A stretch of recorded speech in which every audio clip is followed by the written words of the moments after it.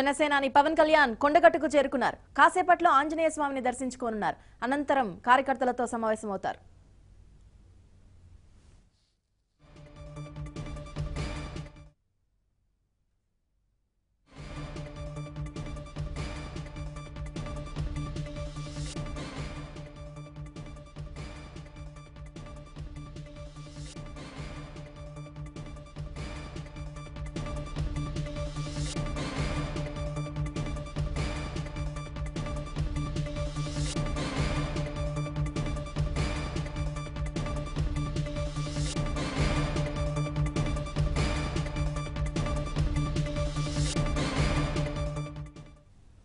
ఉదయం తొమ్మిది గంటల సమయంలో తన నివాసం నుంచి ప్రశాసన్ నగర్లోని జనసేన కార్యాలయానికి చేరుకున్న పవన్కు కార్యకర్తలు అభిమానులు ఘనస్వాగతం పలికారు. భార్య లెజినోవా పవన్కు బొట్టు పెట్టి హారతిచ్చి ఎదురొచ్చి మరీ యాత్రకు సాగనంపారు.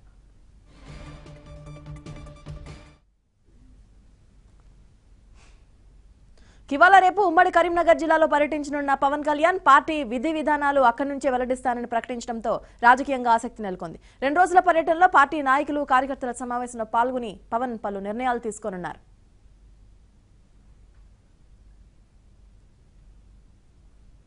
జగిత్యాల నుంచి మా ప్రతినిధి శ్రీనివాస్ అందుబాటులో ఉన్నారు పూర్తి వివరాలు అందించడానికి.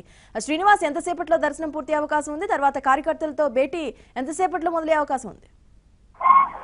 రూప పవన్ కళ్యాణ్ కొండగట్టు ఆంజనేయ స్వామి టెంపుల్ పైకి చేరుకున్నారు. మరో కొద్ది సెకండ్లలోనే ఆంజనేయ స్వామి లోపలికి గుడి లోపలికి వెళ్ళబోతున్నారు. ఆ వేల మంది అభిమానులు పవన్ కళ్యాణ్ జిందాబాద్ జనసేన జిందాబాద్ అంటూ ఆయనకు గ్రాండ్ వెల్కమ్ చెప్పారు. ఆ ముందుగా ఒక లోపల ఒక పది నిమిషాల పాటు దర్శనం ఉంటుంది అని చెప్పి అధికారులు చెప్తున్నారు. తర్వాత ఆయన కొండగట్టు పుణ్యక్షేత్రంలోనే ఆ, జనసేన కార్యకలాపాలకు సంబంధించి తన రాజకీయ యాత్రకు సంబంధించి తన పర్యటన వివరాలను వెల్లడించే అవకాశం ఉంది. ప్రస్తుతం కొండగట్టుకు జనసేనాన్ని చేరుకున్నారు. ఎప్పటి నుంచో ఎదురు చూస్తున్న తన అభిమానులకు అభివాదం చేస్తూ ఆయన లోపలికి వెళ్తున్న పరిస్థితిని మనం చూడొచ్చు.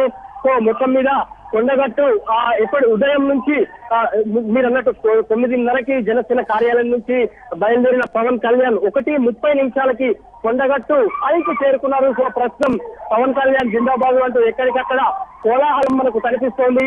ఆయన తన రాజకీయ అంటే ఇప్పటి వరకు ఒక ఉత్కంఠ ఆ దర్శనం తర్వాత ఆయన తన రాజకీయ ప్రస్థానాన్ని ఎలా మొదలు పెడతారు ఏంటి అన్నది సో మొత్తంగా తెలియబోతోంది ఆయన ప్రసంగం ఏ విధంగా ఉండబోతోంది ముఖ్యంగా ఈ నాలుగు జిల్లాల్లో ఆయన పర్యటించే యాత్ర షెడ్యూల్ ఎలా ఎలా ఉండబోతుందంటూ కూడా అటు రాజకీయ వర్గాలు ఇటు రెండు రాష్ట్రాల తెలుగు ప్రజలు కూడా ఉత్కంఠగా ఎదురు చూశారు. సో ప్రస్తుతం ఆయన జనసేన పార్టీ అధ్యక్షులు పవన్ కళ్యాణ్ మొత్తంగా కొండగట్టుకు చేరుకున్నారు. తన ఇలవేంపు అని ప్రకటించిన ఆ పవన్ కళ్యాణ్ ఆ తన ఇష్ట దైవంగా భావించే ఆంజనేయ స్వామిని దర్శించుకొని తన యాత్రను మొదలు పెడతారు. సో మొత్తంగా ఉదయం నుంచి ఎదురు చూసిన తన అభిమానులకు కనిపించి లోపలికి వెళ్తున్న పరిస్థితి మనకు కనిపిస్తోంది. పవన్ కళ్యాణ్ జిందాబాద్ అంటూ వాళ్ళంతా ఆ పవన్కు గ్రాండ్ వెల్కమ్ చెప్పారు.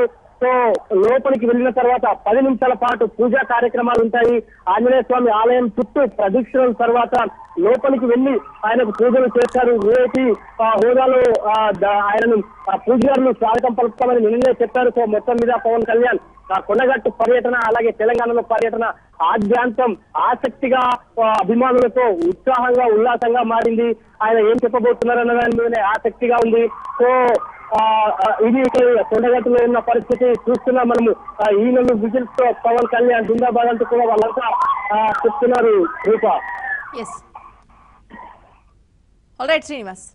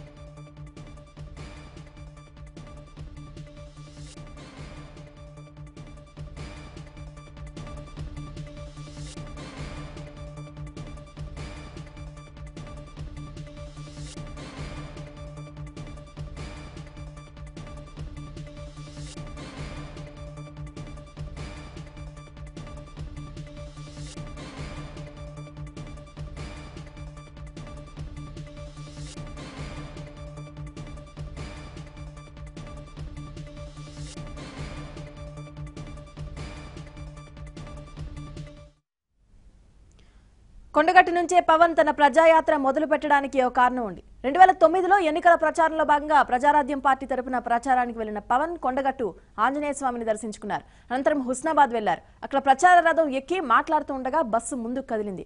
ఆయన ముందున్న లెవెన్ కేవీ విద్యుత్ తీగలను సెకండ్లో తప్పించుకోవడంతో పెను ప్రమాదం తప్పింది. ఇక కొండగట్టు ఆంజనేయ స్వామి ఆశీస్సులతోనే త్రుటిలో ప్రమాదం తప్పిందని పలుమార్లు గుర్తు చేసుకున్నారు పవన్. మళ్ళీ తొమ్మిదేళ్ళ అనంతరం జిల్లాకు చేరుకుని కొండగట్టులో దర్శనం అనంతరం పార్టీ విధి విధానాలు ప్రకటించనున్నారు పవన్ కళ్యాణ్. అయితే రెండు రాష్ట్రాల రాజకీయాల్లో అప్పుడప్పుడు కనిపించి తెరమరుగయ్యే నాయకుడు పవన్ కళ్యాణ్ అని టీఆర్ఎస్ నేత కన్నె ప్రభాకర్ అన్నారు. ఎవరితో చీకటి ఒప్పందాలు చేసుకునేంత బలహీనంగా టీఆర్ఎస్ లేదన్నారు.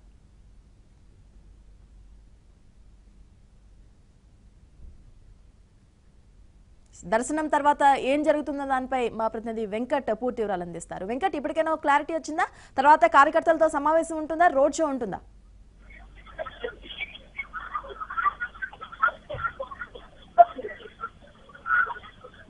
వెంకట్.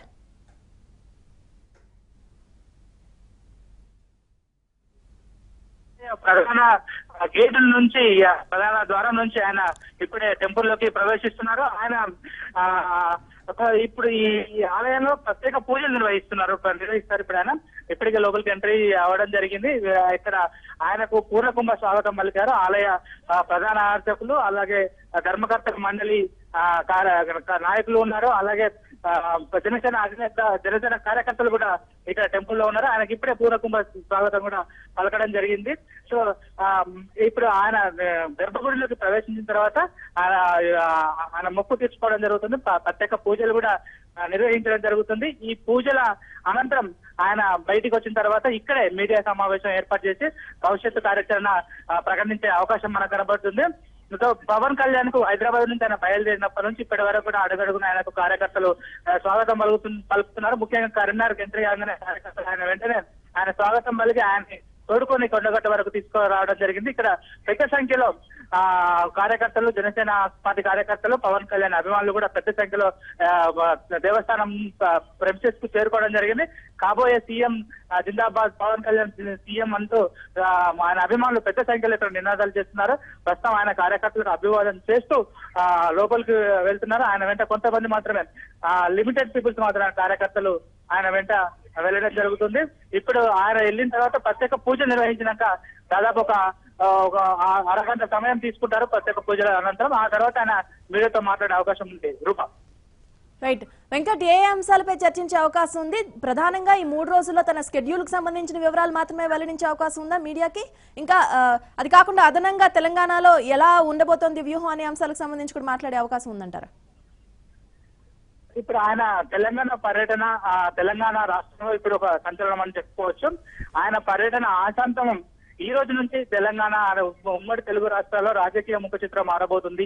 రాజకీయ సమీకరణాలు కూడా పూర్తిగా మారబోతున్నాయి అనే దానికి ఈ రోజు పవన్ కళ్యాణ్ పర్యటన ఒక ఉదంతమని మనం చెప్పుకోవచ్చు. ఆయన ఏ రోజైతే తెలంగాణలో నుంచి ముఖ్యంగా కరీంనగర్ జిల్లా కొండగట్టు నుంచి తన రాజకీయ ప్రస్థానాన్ని ప్రారంభిస్తున్నానని చెప్పారో ఆ రోజు నుంచి రాజకీయ వర్గాల్లో ఒక రకమైనటువంటి వాతావరణం నెలకొందని చెప్పుకోవచ్చు.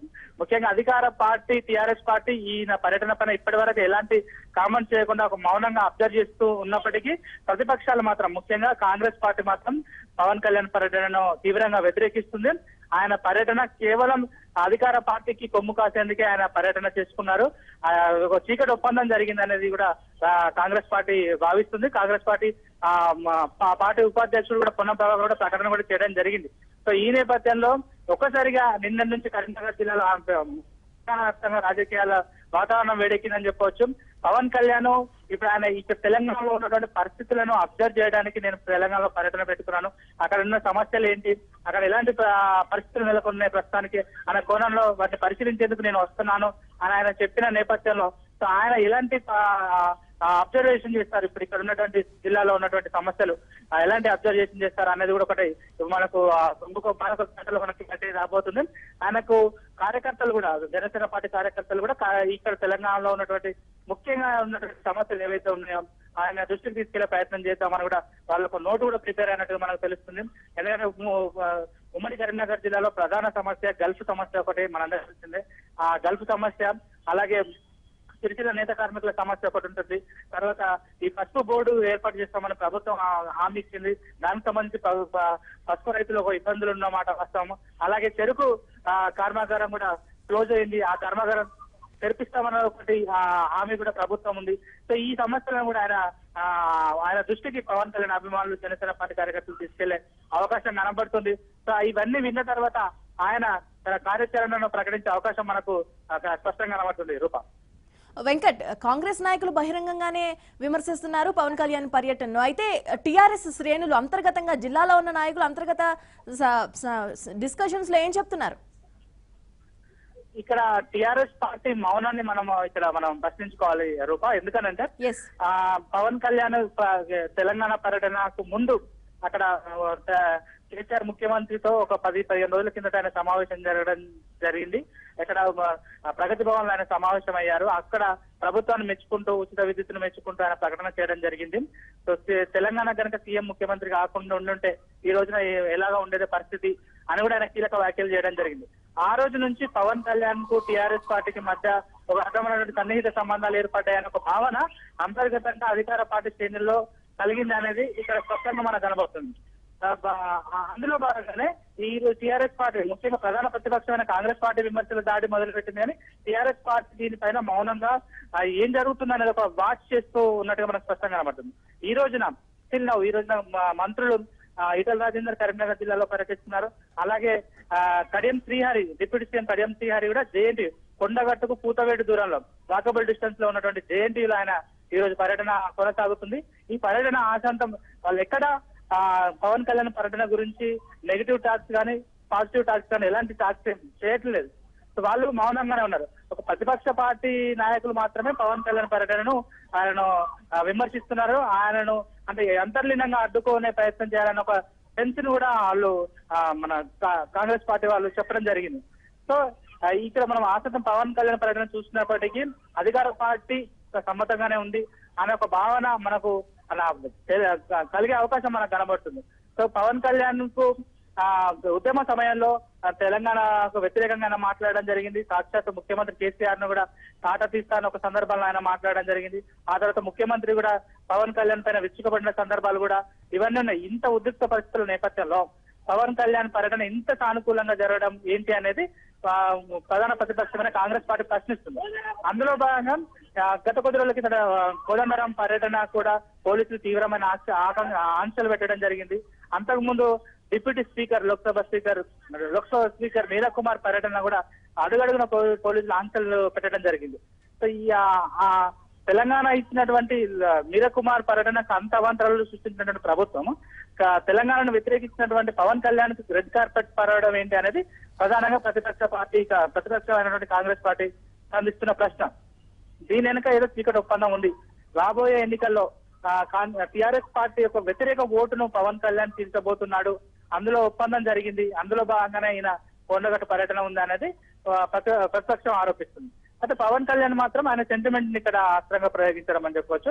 ఆయన రెండు వేల తొమ్మిది పర్యటనలో ప్రజారాజ్యం పార్టీ లో ఉన్నప్పుడు ఆయన యువరాజ్యం పార్టీ అధినేతగా ఉన్నప్పుడు ప్రజా అంకిత యాత్రను కరీంనగర్ జిల్లాలో చేపట్టడం జరిగింది. ఆ టైంలో ఉస్నాబాద్లో ఆయన పర్యటిస్తున్న సందర్భంలో విద్యుత్ వైర్లు తగిలి కాస్త ఆయన పెద్ద పెను ప్రమాదం నుంచి ఆ రోజు తప్పించుకున్నారని మనం చెప్పుకోవచ్చు. ఎందుకంటే అది హైటెన్షన్ వైర్లు ఆయన ఓపెన్ టాప్ వాహనంలో ప్రయాణిస్తున్నారు. ఆ టైంలో షాక్ గురైన తర్వాత ఒక పది నిమిషాలు ఆయన అన్కాన్షియస్ స్టేజ్లో కూడా వెళ్ళడం జరిగింది. ఆ ఆ ప్రమాదం నుంచి బయటపడిన తర్వాత ఈ రోజున నేను ఆ నా కొండకట్టు సెంటిమెంట్గా మారింది. ఆ రోజు అంజనేయ స్వామిని దర్శించుకున్న తర్వాతనే ఆ ప్రమాదం నుంచి నేను బయటపడ్డాను. సో ఈ రోజున నాకు ఆ ఈ నా రాజకీయ తొలి అడుగులో కొండగట్టు నుంచి నేను ప్రారంభిస్తానని కూడా పవన్ కళ్యాణ్ మన ప్రకటించడం జరిగింది. సో ఆయన ఓవర్ నైట్లోనే ఆయన ఈ ప్రకటించడం ప్రకటన చేయడం రాజకీయాల్లో కూడా సంచలనం కలుగుతుంది. ఎందుకంటే ఆ రోజున ప్రమాదం జరిగి తొమ్మిది సంవత్సరాలు అవుతుంది. ఈ మధ్య కాలంలో పవన్ ఏనాడు కొండగట్టు అంశాన్ని కానీ అలాగే ఈ సెంటిమెంట్ విషయాన్ని కూడా ఆయన ఏ రోజు ప్రస్తావించలేదు. అంత అంతకంటే ముఖ్యమైన ఆంధ్రప్రదేశ్లోనే రాజకీయంగా ఆయన పర్యటనలు ఆయన వ్యాఖ్యానాలు కూడా ఆంధ్రప్రదేశ్ ఆ, నేపథ్యంలో జరుగుతుంటాయి. ఉన్నటువంటి ఒకేసారి ఆయన తొలి అడుగులను తెలంగాణలో అదే కొండగట్టు నుంచి ప్రకటించడం ఇక్కడ ఒక చర్చకు దారి తీస్తుంది ఏదేమైనప్పటికీ ఈ రోజు నుంచి రాజకీయాల్లో రాజకీయ వర్గాల్లో ఒక మార్పులు జరగబోతున్నాయి. ఒక ఎలక్షన్ హీట్ అనేది కూడా రావడం జరిగింది. సో ఇక్కడ నుంచి ఈ రోజున పవన్ కళ్యాణ్ చేసే ప్రకటనను బట్టి ప్రతిపక్షాలు ఎలా స్పందిస్తాయి అధికార పార్టీ ఎలా స్పందిస్తుంది అనేది కూడా ఇక్కడ మనకు మరికొద్ది సేపట్లో ఒక క్లారిటీ వచ్చే అవకాశం మనకు కనబడుతుంది. Rupa. Right Venkat thank you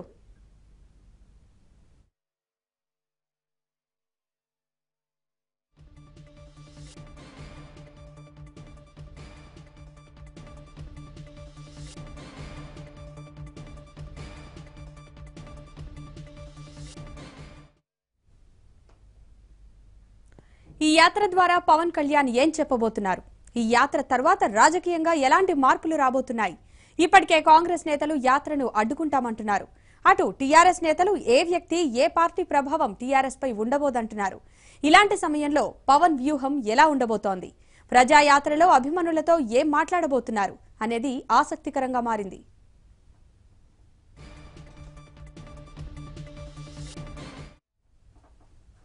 ప్రజా సమస్యల్ని తెలుసుకున్నాక పవన్ ఏం చేస్తారు?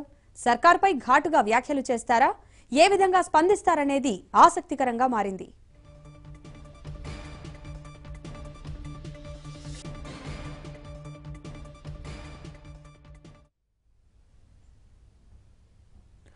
కొండగట్టులో పవన్ టూర్కు సంబంధించి జగిత్యాల నుంచి మా ప్రతినిధి శ్రీనివాస్ అందిస్తారు. శ్రీనివాస్ యోగిత పవన్ కళ్యాణ్ జనసేన అధ్యక్షులు పవన్ కళ్యాణ్ కొండ తన ఇష్టదైవమైన ఆంజనేయ స్వామి టెంపుల్కు చేరుకున్నారు. ఆ, లోపల ప్రదక్షిణల తర్వాత పూజలు చేస్తున్నారు.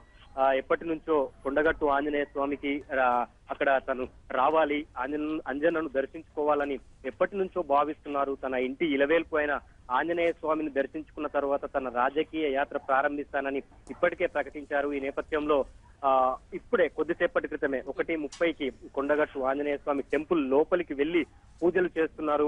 ఆయన అభి వేల మంది అభిమానుల మధ్య అభివాదం చేస్తూ ఆయన లోపలికి వెళ్ళారు సో మొత్తం మీద పవన్ కళ్యాణ్ పవన్ కళ్యాణ్ టూర్ పైన తెలంగాణలో ఆయన టూర్ పైన చాలా ఆసక్తి నెలకొంది. ముఖ్యంగా రాజకీయ వర్గాలు ఆయన టూర్ని ఏ పార్టీకి ఆ పార్టీ అంచనాలు వేసుకుంటున్నాయి. ఎవరి మీద ప్రభావం చూపుతుంది. అంటూ ఎవరికి వారు లెక్కలేసుకుంటున్నారు. సో మొత్తం మీద ఆయన అయితే ప్రస్తుతం లోపల పూజలు చేస్తున్నారు. మరికొద్ది క్షణాల్లోనే ఆయన తన రాజకీయ ఆ యాత్రకు సంబంధించి డీటెయిల్స్ చెప్పబోతున్నారు. ఇప్పటి వరకు ఒక ఎత్తు సో ఇప్పటి నుంచి ఒక ఎత్తు. పూజ అయిపోయిన తర్వాత ఆయన ఆ పుణ్యక్షేత్రం అంటే ఆ కొద్ది క్షణాలే మిగిలి ఉన్నాయి. సో ఆయన బయట తన యాత్రకు సంబంధించి అనౌన్స్ చేస్తారా? లేకపోతే కరీంనగర్లో కార్యకర్తల సమావేశంలో అక్కడ అనౌన్స్ చేస్తారా అన్నది తెలియాల్సి ఉంది. అయితే ఆయన స్పష్టంగా చెప్పారు పూజలు అనంతరం ఆ కొండగట్టు పుణ్యక్షేత్రంలోనే తన యాత్రకు సంబంధించిన డీటెయిల్స్ చెప్తానని ఆయన అన్నారు. సో ఇప్పుడైతే వేల మంది అభిమానులు ఉన్నారు.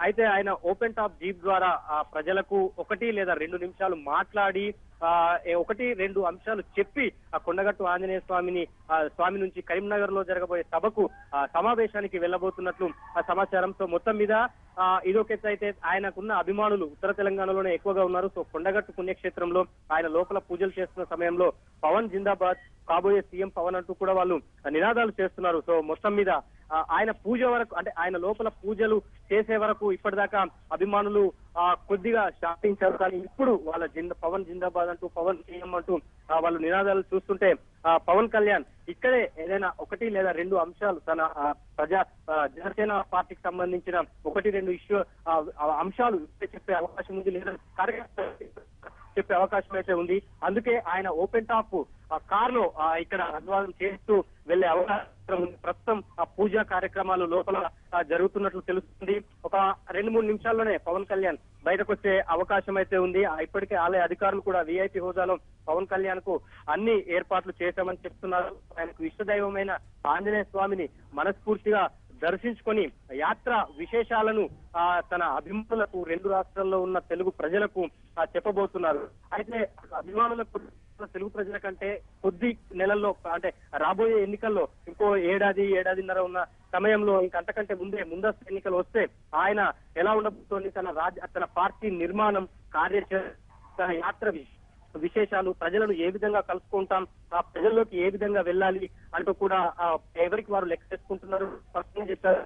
వల్ల తక్కువ మందిని కలిసే అవకాశం ఉంటుందంటూ కూడా చెప్పారు. సో మొత్తం మీద ఆయన ఏ విధమైన యాత్ర చేశారు? తెలంగాణలో అభిమానులైతే సంపూర్ణ మద్దతు ఉంటుంది. ఎలాంటి తెలంగాణలో సంపూర్ణ మద్దతు ఉంటుంది. పవన్ తోనే నడుస్తాం కూడా ఆ, అభిమానులు చెప్పడాన్ని కూడా మనం గమనించడంతో మరికొద్ది క్షణాల్లోనే ఆయన ఆ పవన్ కళ్యాణ్ తన రాజకీయ కార్యాచరణను ప్రకటించే అవకాశం ఉంది యోగిగా రైట్ థ్యాంక్ యూ శ్రీనివాస్